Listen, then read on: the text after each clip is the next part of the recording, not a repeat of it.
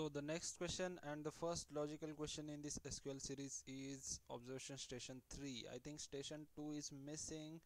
So here we will read the question. Query a list of city names from station. So this is the basic query means basic thing that we have to extract the city column. For cities that have an even ID number. So these are all the conditions. The next are means we have to find this find the cities whose id is even number. So this is the first condition. Print the results in any order but exclude duplicates from the answer. So these are the conditions that we have to add these two three conditions. Now first of all we will write our simple query. Query a list of city names from station. Means we want this city column from this station table.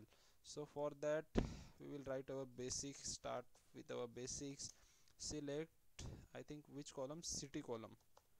So select city from our table name is station. So this has happened. After this what we have to check that query a list of city names from station for cities that have an even id number. So this field we have to check that. So i think this is our example. Suppose this is our table and these are our data so here id numbers are like these are the numbers these are integers. So we can uh, check that it is even or odd. So we have to check this id number in the where clause. So here id numbers are even and odd both. So for all row we, we will check that the our id is even or odd.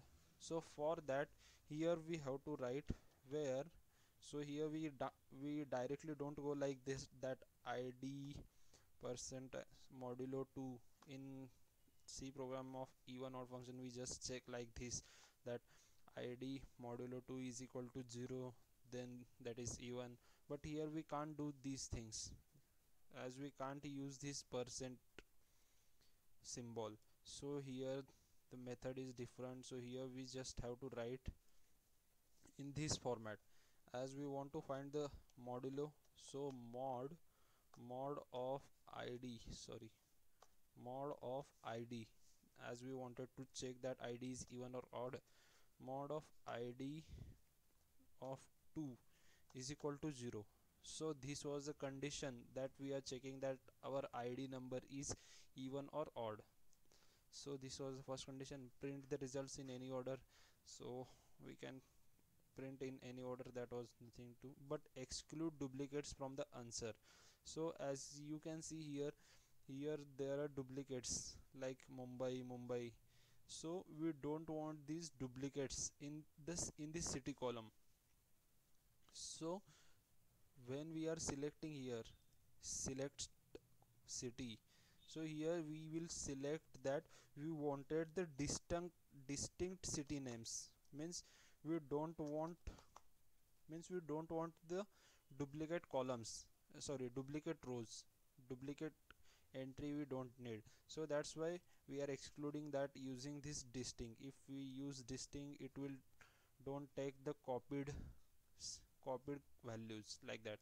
So this was the thing. So i think that was the thing. These are two conditions. This was about distinct was about copy.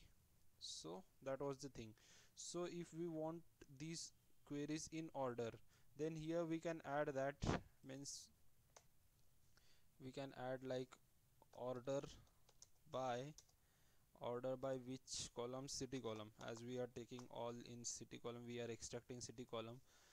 Then the order then the values will values will come in an ascending order like that. A a a then b b b. So that was the thing. So thank you